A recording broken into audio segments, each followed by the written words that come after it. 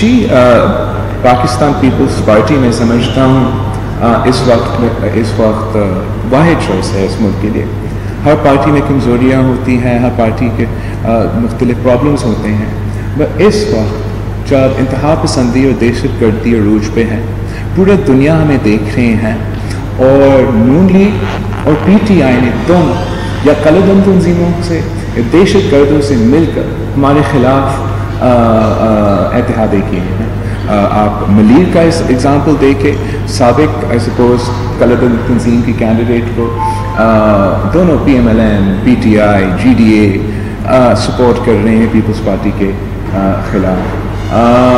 میں سمجھتا ہوں کہ any confusion on the future of country when it comes انتہا پسندی that should be a red line for all voters in Pakistan کہ ہم کیا پیغام نہ صرف دے رہے دنیا میں اس کا کیا کانسیکوینسز ہوگا؟ ہمارا اپنا سوسائٹی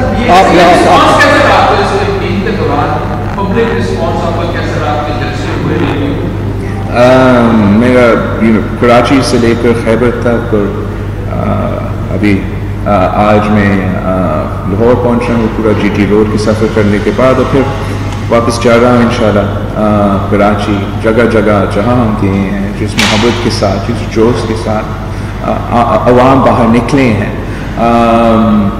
وہ بہت نہ صرف موٹیویٹنگ ہے اپنے لیے، مگر ایک خوف پیدا ہو رہا ہے اس ملک میں کہ آپ پازیٹیو سیاست کر سکتے ہو۔ آپ ایشوز کی سیاست کر سکتے ہو۔ یہ جگہ ہے ہماری جمہوریت میں۔ میں نے پہلے اس الیکشن سے پہلے بھی کہا تھا کہ جو لوگ نفرت انگیز سیاست میں انگیج ہیں شاید ایک الیکشن میں فائدہ ہوگا مگر لانگ ٹرم اس کا نقصان ہوگا نہ صرف ہمارے سیاست پہ مگر اس ملک پہ۔ مگر جو رسپانس ہمیں ملا ہے میں سمجھتا ہوں کہ الیکشن جیتے اور یا ہارے ایک امید پیدا ہوا ہے اس میں۔ میڈم کہ ہم ایک پازیٹیو میسیج کے ساتھ ایک انکلوسیو میسیج کے ساتھ اس ملک کے نوجوانوں کو انگیج کرتے ہیں کر سکتے ہیں۔ تو جو بھی ہوتا ہے الیکشن دن پہ الیکشن دن کے بعد یہ جو سفر ہے میں جاری رکھوں گا اور ان شاء اللہ تعالیٰ ہم ایک پازیٹیو رول ادا کریں گے۔ میڈم سے آپ سے کر لیں۔ کے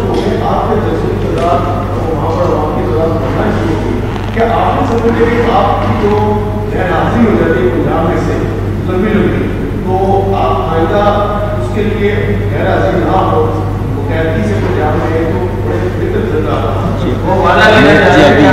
میں تو بار بار آتا رہوں گا لیکن جیسے میں دوسرا دوسروں کو جوسس کو دیکھ نہیں رہا ہوں تو میں آپ کو بتا نہیں سکتا ہوں۔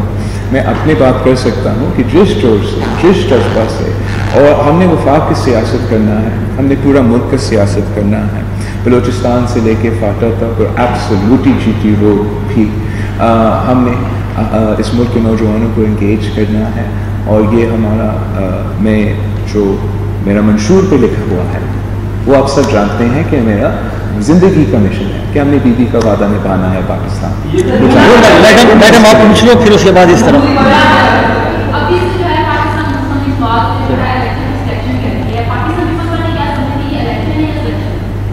دیکھو مسلم لیگ نواز جو ہے، ان کا ایک تاریخ رہا ہے۔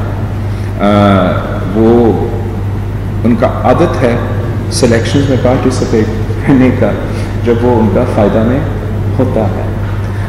میں سمجھتا ہوں کہ absolutely they are challenges to this election process and میں نے ہم، ہمارا پوزیشن بھی یہ ہے کہ ایبسلیوٹلی کوششیں کیے جا رہے ہیں to favour certain candidates This has happened in past elections also. Uh, the complaints I'm getting uh, from the ground now, for me this is my first election, they're uh, unprecedented and shouldn't be happening.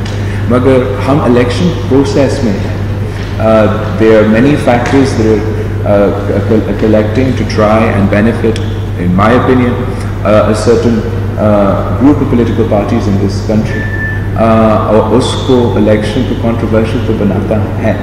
مگر جیسے ہم نے پہلے کہا، میں پھر سے emphasise کرنا چاہتا ہوں کہ جتنا بھی کمزور جمہوریت ہوتا ہے، وہ عامریت سے بہتر ہوتا ہے۔ آخری سوال یہاں سے کریں بس شریف مستان آپ کو روکا گیا کل بھی آپ کی جو ریلی کا روک وہاں پہ عمران خان کو بچوں کی اجازت دے دی گئی۔ تو کیا پیپلز پارٹی سے یہ خوف زدہ ہے اور کیا یہ سپریم کورٹ ریگنگ کے زمرے میں نہیں آتا؟ There's, there's a whole list of complaints of, uh, of, of, of, uh, of people leaking اور وہ یہ ایک چھوٹا سا حصہ اس میں ہے۔ مگر میرے پاس I have 24 hours within the day and جیسے آپ دیکھے ہو میں کیمپین کے لیے نکلا ہوں۔ ہمارا پارٹی یہ کمپلینس اکٹھے کر رہے ہیں، بالکل تحفظات ہے and they absolutely should be انہوں نے جو میرا سب سے زیادہ تحفظات ہے یہ ہے کہ they should be no pressure on my political candidates on my workers on my party members there is freedom of political association in this country and میں اس پر زیادہ تر اعتراض کرتا ہوں۔ اور میں main focus is I on the campaign میں نے باہر اپنا میسج کم دن رہتے ہیں، اپنا میسج باہر لے کر چل رہا ہوں ان شاء اللہ تعالیٰ اس کا رزلٹس آئیں